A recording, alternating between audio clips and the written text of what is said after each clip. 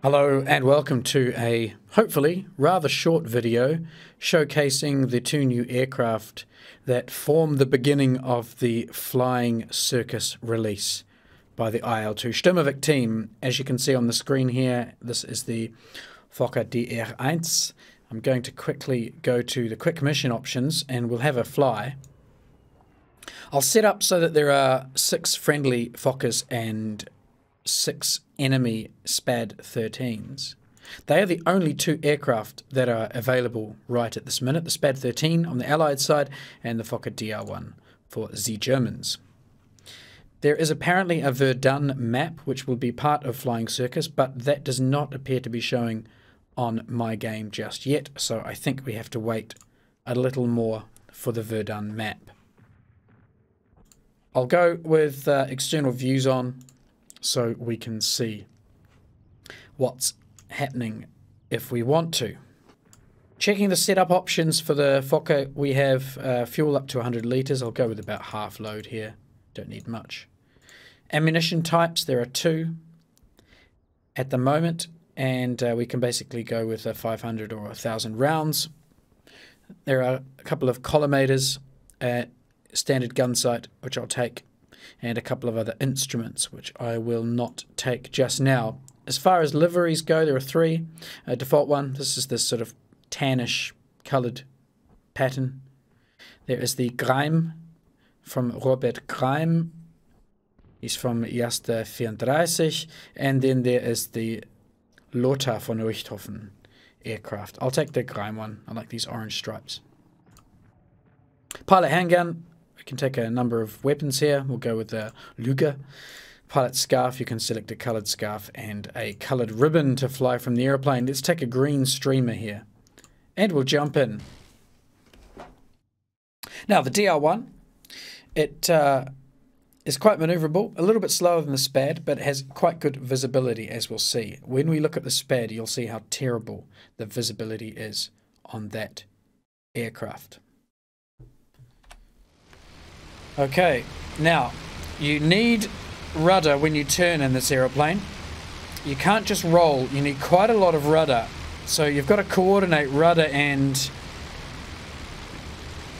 rudder and aileron much more than you do in a World War II sim.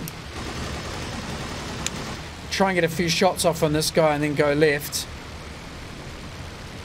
and it's a lot harder to turn these aeroplanes. You've got to put in about, I've probably got about 5% rudder there to assist with the turn. There's a SPAD diving away to my left, so I'm going to chase after him. In fact, I'm going to change onto this guy.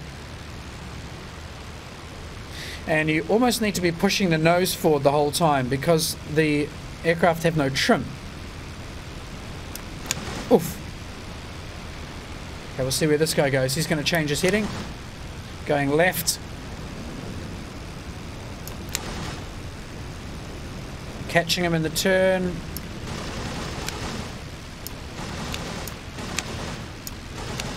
A Couple of hits on him there, I think. Yeah, spraying him just a fraction. Not enough deflection. Lots of left eight. Lots of left rudder required here. You can see he's taken quite a beating.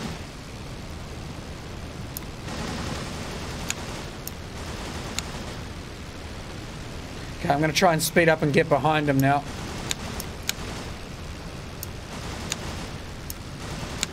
I'm hitting him a lot here.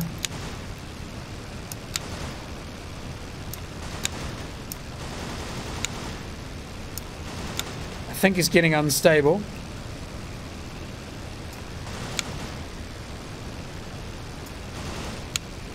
Okay, I'm out of ammo. So I hit that guy a lot but uh, don't appear to have done any real damage to him, and that's me done for. Out of ammunition and having to leave the fight. So a quick look at this aeroplane. It's pretty responsive, much more responsive than the World War II machines I'm used to flying. You can rip it round in a roll with elevator and aileron. And as you can see, I'm constantly fighting to keep that nose in position. I've got about 50% forward stick at the moment see how much forward stick is required just to keep that nose from climbing. A lot of it. As I said, visibility is pretty decent out, out of this thing. And um, despite the fact that that SPAD absorbed a lot of ammunition, I think this will be a fun aeroplane to fly. Let's have a look at the SPAD now. So we've changed over. SPAD's on our side, Fokkers on theirs. We'll do the check the customization options. And as you can see here, we've got uh, the same again for fuel, so we've got about half fuel. Gun convergence is nice and short. Modifications. There are a couple of these um, collimator. There's a collimator sight, and um, I don't really like those because they're long, thin kind of um, binocular or telescope things. They're very difficult to use. Some bo uh, bomb and uh, lights and a balloon gun, etc., etc. I'm just going to stick with the default 800 rounds and no mods. Liveries, we've got a Fonck, which is quite nice. It's got this blue nose. I'm going to use that. Deslade, which is uh, red stripes, and the Rickenbacker, which I believe is an American skin. And we have, of course, the, the same choice of uh, revolver, a scarf, and a streamer. Let's go with a blue streamer. Here we are then. Now, first thing you can do is look at the view. It's shocking.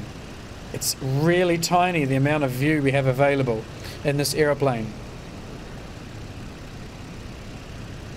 Those guys are turning.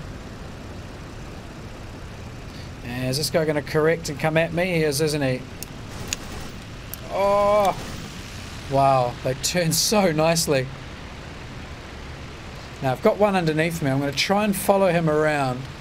Keep my eyes on him. And he's going to disappear below the wing now. And then I've got to hope that he pops out. There. Oh, some lovely hits there. Got one on my six here, so let's keep climbing and turning. And he shouldn't be able to follow me in this climb. He will outturn me, but he won't outclimb me. Okay, he's dropping away, so let's keep him above the wing there.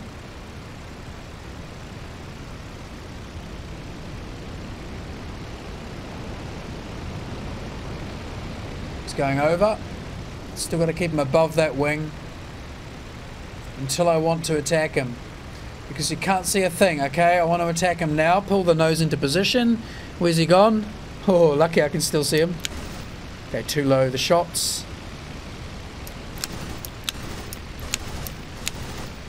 Some hits, some more hits. And now he's out of sight. And where is he? Behind me, I think. No, that's a spad. So I've lost sight of him. What's this thing in front of me here? What is that? That's a Fokker. Okay, let's try and turn. Clearing six, nothing behind me. Okay, so as long as he's on top of the wing, I'm okay. But as soon as I start overhauling him, kind of have to go wings level to still see him. He's going to be on my six shortly, but he's a bit slow. But so am I. Okay, he's just stalled out. So keep him above the wing.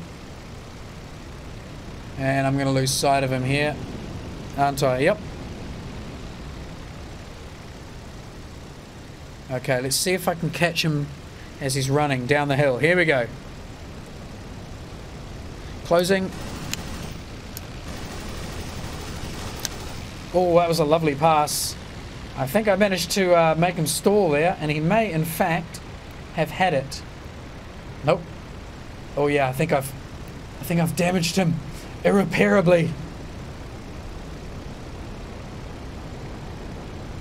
Yeah. He's trying to turn, but he keeps flicking it out, and he's going to go in, I believe. Poor bugger.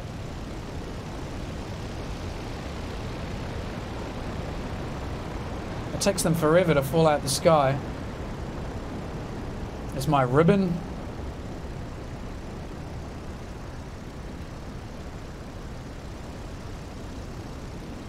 Come on, mate. In you go. This is the slowest collapse of an aeroplane into the ground I think I've ever seen. And thud. So no explosions, just thud. ah, classic. Okay. So the main problem with this aircraft is that visibility issue. You cannot fight the aeroplane um, like this. You have to sit back and keep the enemy up there, and then as soon as you're ready to shoot, then you have to pull the um, the nose and have a shot and hope you hit him. But like I said, I think it's a little bit quicker than the Fokker. Certainly against these AI, it, it appears to be um, a good option, but I have no idea how these aircraft will compare when humans are flying both of them. I'm sure that's going to be an entirely different situation. There we go. That was, as I promised, a very quick look. External view here for those who want it.